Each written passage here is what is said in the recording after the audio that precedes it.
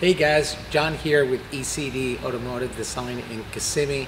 Uh, today we're showcasing a beautiful, beautiful Defender 110 uh, Project Palisades. Now, this beautiful D110 is painted in Santorini black, metallic, in full gloss.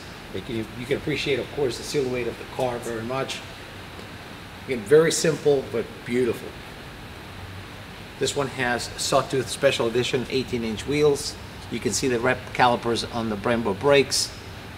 Continental road tires for a smoother ride. A couple of accents here in silver metal Optimill handles. Full step runners on the side there. Again, kind of the less is more type of concept with this build. Client wanted to have something very clean and subtle, but at the same time retaining the character of the original Defenders. Now, in the inside, a similar um, character was left um, pretty much the same uh, in a way where it's not overly done.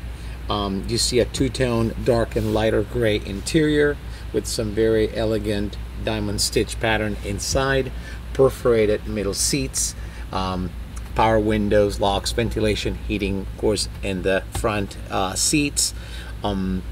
And again, very simple, but very elegant style of vehicle. We also have this micro suede material for the headliner in dark gray that complements everything else fairly well.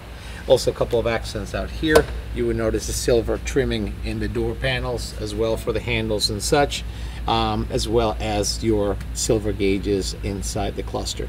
Now under the hood, we're gonna find our 6.2 liter V8 GM engine, of course, 430 horsepower LS3.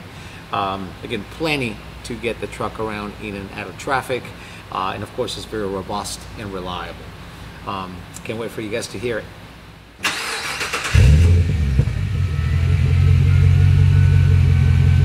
All right, so yeah, this is for you all Project Palisades, which is a vehicle that we built about a year and a half, two years ago for a client. Beautiful looking truck. Again, very elegant and understated uh, but at the same time, it's got all the power and character that you're looking for on a Defender 110. Hope you enjoy the walk around, and we hope to see you soon.